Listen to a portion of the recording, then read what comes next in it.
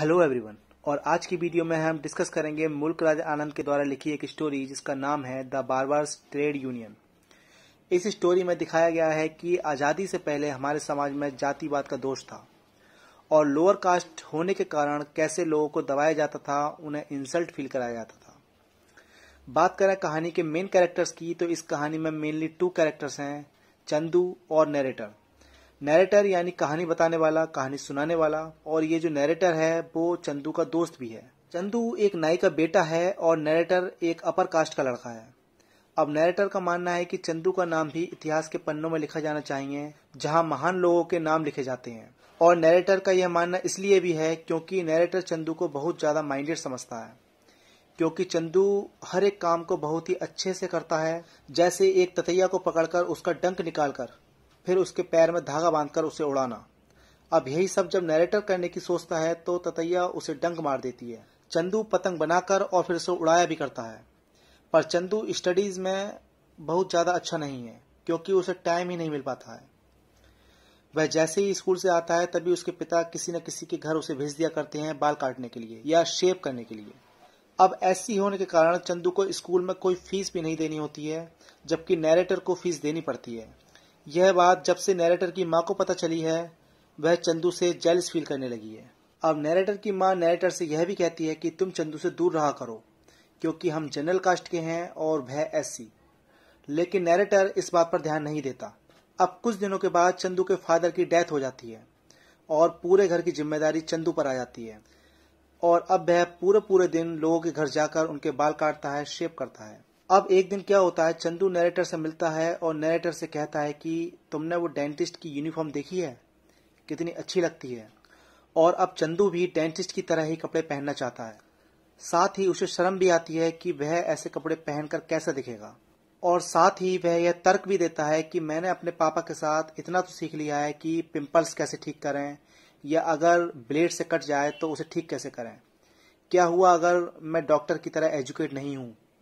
अब इसकी, इस बात से नैरेटर यानी चंदू का फ्रेंड अग्री हो जाता है। अब कुछ दिनों के बाद चंदू जब नैरेटर के घर आता है तो नैरेटर देखता है कि चंदू ने सेम उसी डॉक्टर की तरह कपड़े पहने हुए हैं। वही लेदर की जैकेट और जूते और एक पर्स है, जिसमें उसने अपने बार बार वाला सामान रख रखा है। और अब वह एक डॉक्टर के स्टाइल में खड़ा है और अपने दोस्त से पूछता है कि वह कैसा लग रहा है। नैरेटर भी बता देता है कि वह बहुत अच्छा लग रहा है। अब चंदू सेविंग करने के लिए अपने लैंडलॉर्ड विजय चंद के घर जाता है। और जैसे ही विजय चंद के बेटे की नज़र चंदू पर पड़ती है, वह ताली बजाता हुए कहता है कि, चंदू, द बार बार आ गया। अब यह सुन के विजय चंद आ जाते हैं। और विजय चंद चंदू को देखते ही कहते हैं कि, क्या पहन के आए हो? ये मेरे घर पर चमड़े के बैग और जूते। ये तो एनिमल्स की खाल से बना होता है। और कुछ गालियों के साथ कहता है कि son of pig get out from here अब चंदू कहता है कि साहब मैंने डॉक्टर के कपड़े ही तो पहने हैं। ऐसा क्या गलत कर दिया? तब विजय चंद कहता है कि, वही कपड़े पहन जो तेरे स्टेटस यानी लो स्टेटस पे सूट करते हैं। अब चंदू को बहुत बुरा लगता है।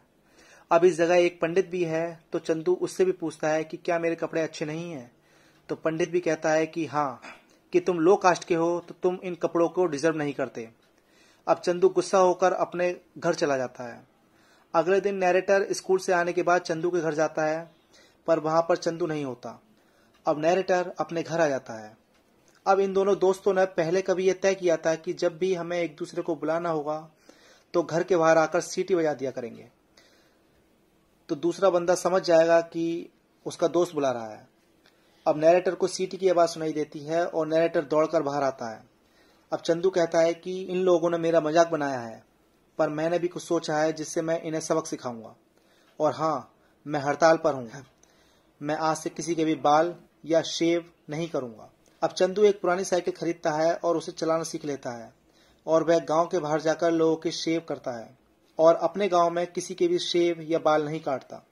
अब एक दिन चंदू और इसका दोस्त नैरेटर दोनों एक बनियान ट्री के नीचे खड़े होते हैं। अब वहीं पास में गाँव के कुछ लोग खड़े हैं और बातें कर रहे हैं। और उन सबके बाल लंबे हो गए हैं क्योंकि चंदू स्ट्राइक पर है। और बाल और दाढ़ी बड़ी होने के कारण वे सब बहुत ही बुरे दिखाई दे रहे हैं, अजीब से दिखाई दे रहे हैं। अब नैरेटर उन सबको देखकर चिल्लाता है बीवर्स बीवर्स बीवर्स तो बीवर्स माने एक बड़े बालों वाला जानवर होता है। अब ये बात वहाँ के साहूकार सुन लेते हैं और नैरेटर और चंदू वहाँ से भाग जाते हैं। अब पूरी तरीके से गाँव में ये बात फैल चुकी है कि चंदू स्ट्राइक पर है। और जितने भी अपर कास्ट के लोग हैं, अब उनकी फैमिली भी उन पर हंस रही थी। अब सब लोग प्लान करते हैं कि वह गाँव में दूसरे बारबर का इंतज़ाम करेंगे। पर यह दूसरा बारबर चंदू का भाई ही होता है। तो चंदू के मना करने पर यह भी काम करने को मना कर देता है। अब चंदू वहाँ आसपास गाँव के सभी बारबर्स को इकट्ठा करता है और एक यूनियन बनाता है, जिसका नाम रखता है द बारबर्स ट्रेड यूनियन और यूनियन में यह भी तय किया जाता है कि अब हम घर घर नहीं जाएँगे। बल्कि जिसे बाल या शेप बनवानी है, वह हमारे पास आएगा।